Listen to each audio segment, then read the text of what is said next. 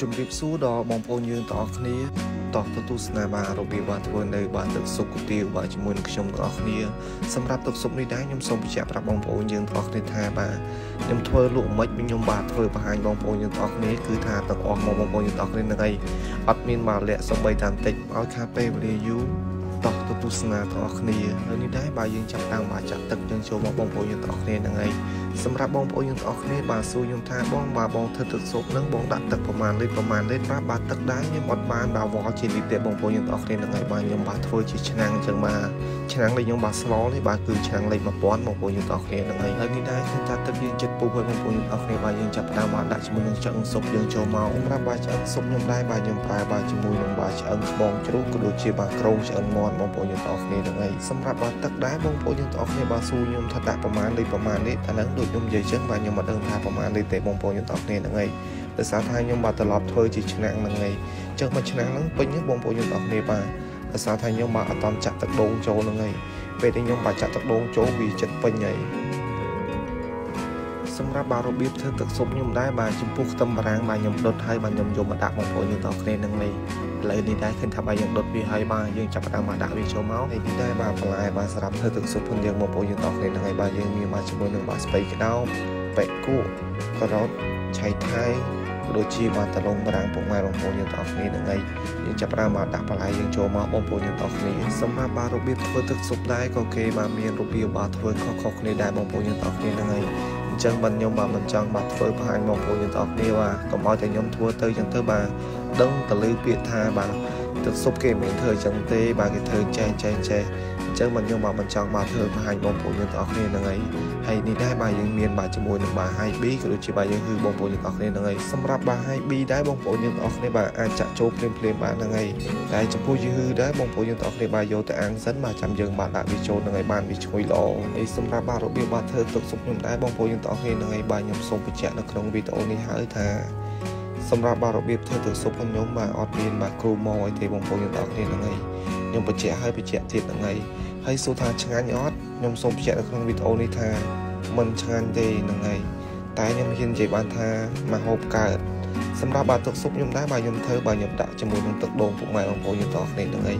ដូងនេះដែរបាទគឺដូងចាស់ទេពុកម៉ែបងប្អូនយើងតោះគ្នាហ្នឹងហើយយើងចាំមើលបាទទឹករៀងបាទរៀងពូបន្តិចសិនចាំយើងចាប់បានបាទចាក់ជាមួយនឹងទឹកដូងយើងចូលសម្រាប់បាទរបៀបបាទធ្វើទឹកស៊ុបដែរបងប្អូនយើងតោះគ្នាបាទ គូតាអាសាបាទដូងបាទពពុះដែលវាបានពុះចេញមកហ្នឹងបងប្អូនយើងតោះគ្នាបាទដូងវាចេញអស់អស់ទៅហ្នឹងហើយបើសិនជាយល់ល្អបងប្អូនយើងតោះគ្នាបាទចង់បានបាទទឹកស៊ុបបាទរៀងថ្លាថ្លាយើងកុំអាសាបាកោវាខ្លាំងពេកហ្នឹងហើយហើយបងប្អូនយើងទាំងអស់គ្នា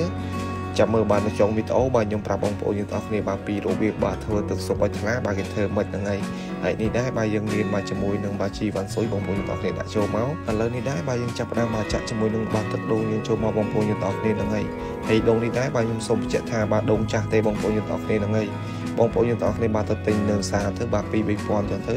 ដូចខ្ញុំអញ្ចឹងបាទខ្ញុំមានម៉ូអញ្ចឹងបាទគេទុកឲ្យយើងរកថ្ងៃបងប្អូនយើងទាំងអស់គ្នាហ្នឹងហើយសម្រាប់ទឹកដូងនឹងដែរបងប្អូនយើងទាំងអស់គ្នាបាទចង់ដាក់ក៏បានមិនចង់ដាក់ក៏បានដែរអត់អីទេពុកម៉ែបងប្អូនយើងទាំងអស់គ្នាហ្នឹងអីឥឡូវនេះដែរបាទយើងចាប់ផ្ដើមបាទដាក់គ្រឿងយើងចូលយើងចាប់ផ្ដើមបាទដាក់ជាមួយនឹងអំបិល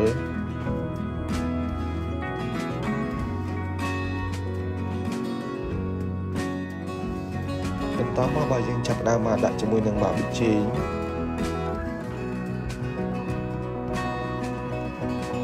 ក្រោយនេះដែរបាទយើងចាប់ផ្ដើមបាទដាក់ជាមួយនឹងបាទស្ករសយើងចូលមកបងប្អូនយើងទាំងគ្នានឹងអីសម្រាប់បងប្អូនយើងទាំងគ្នាដែលចង់បាទធ្វើទឹកស៊ុបទៅបាទឲ្យទឹកស៊ុបបាទថ្លាល្អអញ្ចឹងបងប្អូនយើងទាំងគ្នាបាទគួរតែប្រើបាទស្ករសទៅនឹងអីសម្រាប់បាទស្ករដែរបងប្អូនយើងទាំងគ្នាបាទចង់ប្រើបាទជាមួយនឹងបាទស្ករក្រហមក៏បានបាទចង់ប្រើបាទជាមួយនឹងបាទស្ករសក៏បានដែរអានឹងបាទស៊ីសងទៅលើចំណងចំណូលចិត្តបងប្អូនយើងទាំងគ្នាបាទយើងធ្លាប់បាទធ្វើមិនបាទហូបទៅឆ្ងាញ់បងប្អូនយើងទាំងគ្នាបាទអាចធ្វើអញ្ចឹងបានហ្នឹងហើយ ឥឡូវនេះដែរបាទយើងចាប់ផ្ដើមមករងាស់វាចោលសិនទៅបងប្អូនយើងទាំងអស់គ្នាហ្នឹងហើយហើយបងប្អូនយើងទាំងអស់គ្នាបាទកុំកោវាពេលដែលយើងបាទរងាស់វាចោលហ្នឹងបើសិនជាយើងបាទកោវាវាអាចធ្វើឲ្យបាទទឹកស៊ុបយើងហ្នឹងបាទវារៀងល្អតិចបងប្អូនយើងទាំងអស់គ្នាហ្នឹងហើយសម្រាប់បាទទឹកស៊ុបដែរបងប្អូនយើងទាំងអស់គ្នាបាទឃើញថ្លាល្អនេះបាទខ្ញុំធ្វើចឹងបាទវារៀងថ្លាល្អចឹងណាតែបើសិនជាបងប្អូនយើងទាំងអស់គ្នាបាទដាក់ម្រេចនេះបាទខ្ញុំធ្វើឲ្យបងប្អូនយើងទាំងអស់គ្នាមើលបងបើសិនជាបងប្អូនយើងទាំងអស់គ្នាបាទដាក់ម្រេចមាត់ទឹកស៊ុបយើងវាប្រកបណាស់នឹងបាទខ្មៅល្អហ្មងហ្នឹងឯង ឥឡូវបាទខ្ញុំចាប់ផ្ដើមបាទដាក់ចូលទៅសម្រាប់បាទទឹកស៊ុបដែរបងប្អូនយើងទាំងអស់គ្នាបាទបើសិនជាយើងបាទចង់បានបាទទឹកស៊ុបថ្លាបងប្អូនយើងទាំងអស់គ្នាបាទគូតែប្រើបាទម្រេចម្រេចតែប៉ុន្តែអាម្រេចដែលយើងអត់តាន់បុកបងប្អូនយើងទាំងអស់គ្នាហ្នឹងហើយតែបើសិនជាបងប្អូនយើងទាំងអស់គ្នាបាទប្រើម្រេចមាត់ វាប្រកបណាស់100%បាទទឹកស៊ុបយើងនឹងបាទវាប្រកបជាបាទខ្មៅល្អអីតែដោយសារតែខ្ញុំបាទត្រឡប់ប្រើបាទម្រេចមាត់អញ្ចឹងមើលទៅបាទទឹកស៊ុបខ្ញុំបាទមើលទៅក៏មិនសូវថ្លាប្រហែលដែរបងប្អូនយើងទាំងអស់គ្នាហើយបើសិនជាបងប្អូនយើងទាំងអស់គ្នាបាទចង់បានឲ្យទឹកស៊ុបយើងនឹងបាទវាថ្លាល្អគួរតែប្រើបាទអាមេរិកគ្រូទៅបងប្អូនយើងទាំងអស់គ្នាហើយក៏ឆ្លៀតបាទឆ្លើយតបទៅខមមិនបងប្រុសហ្នឹងហើយគាត់បានចូលទៅខមមិននៅក្នុងបាទវីដេអូដែលខ្ញុំបាទបានធ្វើស៊ុបជើងគោហ្នឹងហើយគាត់បានចូលទៅខមមិនថាបាទខ្ញុំនឹងបាទធ្វើទឹកស៊ុបបាទឆ្ងាញ់ខ្លាំងអី បានខំបាទប្រឹងអួតគេម៉េះអញ្ចឹងបាទខ្ញុំសុំសួរទៅបងវិញថាកន្លែងណាដែលថាខ្ញុំអួតហើយមួយម៉ាត់ណាដែលថាខ្ញុំអួតខ្ញុំជឿជាក់បងប្អូនយើងទាំងអស់គ្នាអាសាមើលវីដេអូខ្ញុំមកដឹងថាចរិតខ្ញុំមិនយ៉ាងហ្នឹងហើយមនុស្សខ្ញុំអត់ចេះអួតទេខ្ញុំនិយាយតាមត្រង់មកខ្ញុំមិនដឹងថាអួតគេទៅខ្ញុំបានអីមកវិញហើយខ្ញុំសូមមកបញ្ជាក់ប្រាប់បងហើយថា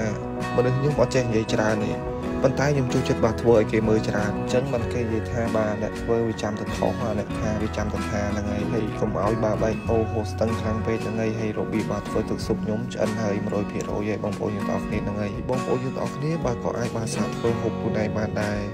អរគុណច្រើនដល់ពុកម៉ែបងប្អូនយើងទាំងអស់គ្នាស្រាប់ការចូលមកទស្សនានៅវីដេអូមួយនេះជាចុងក្រោយនេះដែរខ្ញុំបាទ Benly គ្រប់ជ្រាបលា ជួបគ្នានៅវីដេអូថ្មីទៀត